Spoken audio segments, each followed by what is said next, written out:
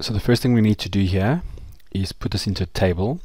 But it's important just to have a quick look at it. Just looking at it, there could be some problem because that looks like there's a fixed width. But then this seems to be maybe not consistent and there's some spaces here but there's spaces elsewhere. So we're just going to have to figure out how to split it. So let's first put it into a table, insert table. So okay. So at the moment we've still got, looks like the same problem. Gonna go data, put it into Power Query. So looking at that, it'll be interesting to see how we're going to do it. just want to show you a trick, so we're just going to discard this for now. Is if you look at the font that's being used here, it's Arial. We're just going to change it to something called to the Courier font. So we're going to change here. When I change it to Courier New, you'll just suddenly discover that it's obvious that these actually can be split by fixed width.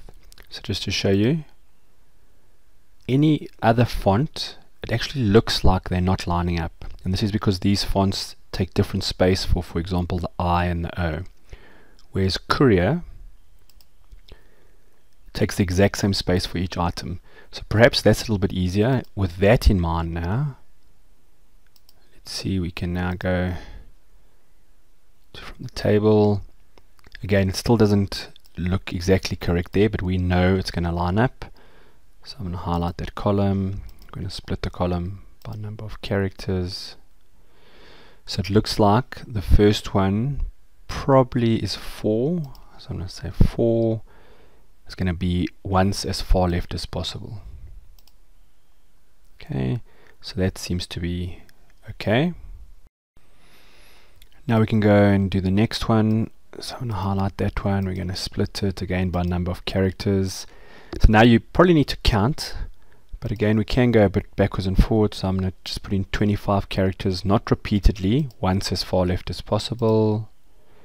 So that looks okay. Perhaps we can go a little bit further along because it looks like there's a space there.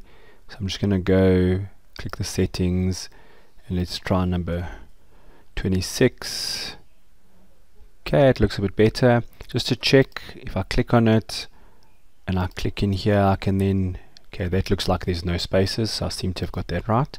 So you can see this has now split them. What we may then want to do remove that top row and maybe change the headers